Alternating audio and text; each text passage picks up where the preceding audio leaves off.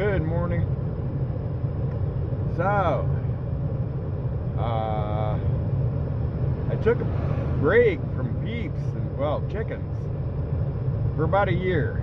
And uh, I ordered Buff Orpingtons from Meyer Hatchery in Polk, Ohio. Ordered them oh, earlier in the week, uh, or last week. They were due to hatch yesterday. They shipped yesterday. They're here. I called the post office yesterday just to see about what time they thought the truck might be in. He said, oh, usually around 7. And uh, 6.40 this morning, I got the call. They're here. I got to go get them. They need warmed up. I'll be back. They're making a little noise. You got quiet now. They were peeping, so that's a good sign. I got the heat on. See you at home. All right, here we are. Brooder's ready. Been heated up for 48 hours actually, just till I get the temps all regulated, and uh, we're ready to open these babies up. Hopefully they're all alive. I'll be back here in a minute.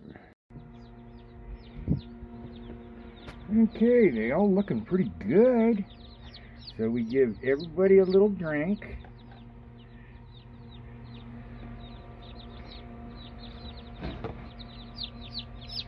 There's five.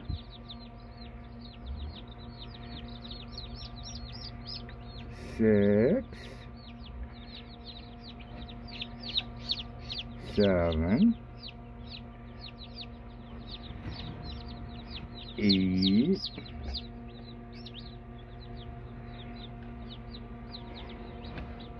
nine,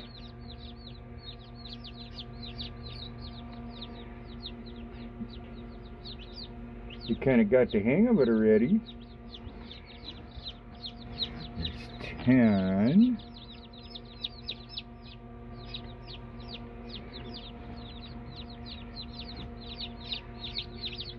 Eleven,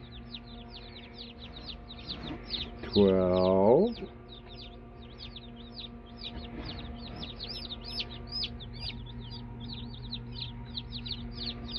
thirteen, fourteen, fifteen.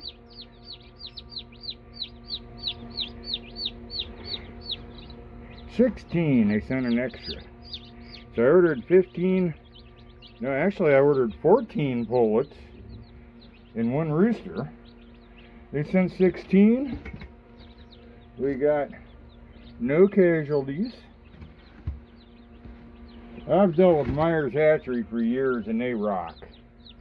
So I'll be back here in a second. I gotta get this closed up and get these guys warmed up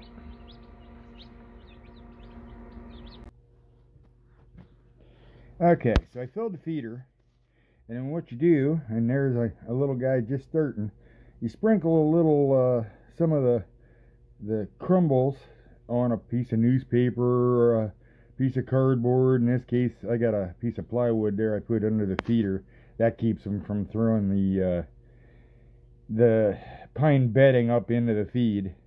Anyway, so you lay the feed out on something flat and they just naturally want to peck at something and they're kind of curious and they say, hmm, no, that's not too bad. And then, and these two will start here doing this and the other ones will say, what you got there? And they'll all start doing it. So I'll show you here in a minute when more of them get over there and check it out. Okay, so I sprinkled a little more feed over here on that other little board under the water I thought they could see it a little better, and seems like they have. Uh, there's three or four of them pecking at it there now, and they'll start saying, mm, "That's that's pretty good stuff. Need to find some more of that," and they'll find that feeder eventually.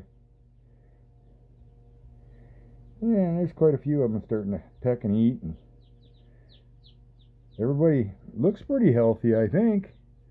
A couple, you know, they look real lethargic but it's like they're just sleepy, and then all of a sudden they'll open their eyes back up and take off running. So I think they're all pretty lively.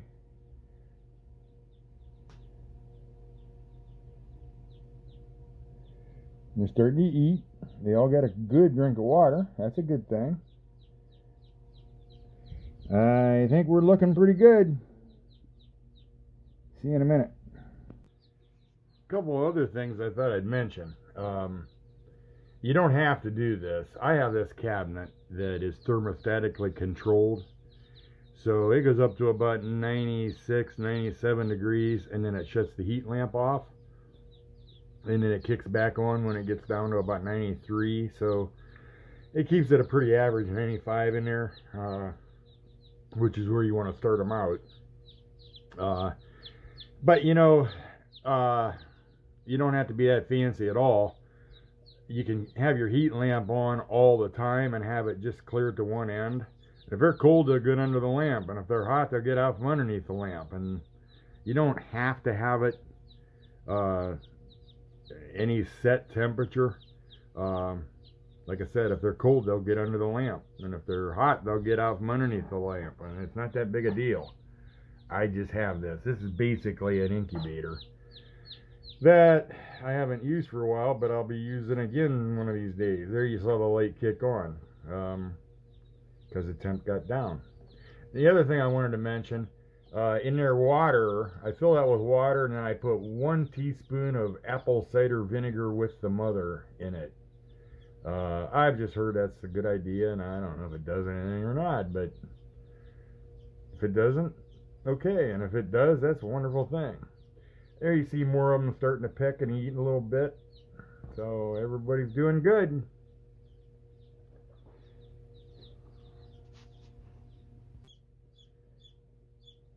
Think they're getting the hang of it.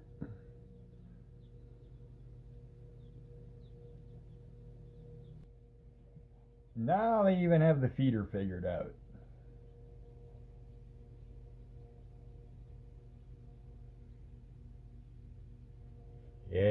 Everybody's hungry.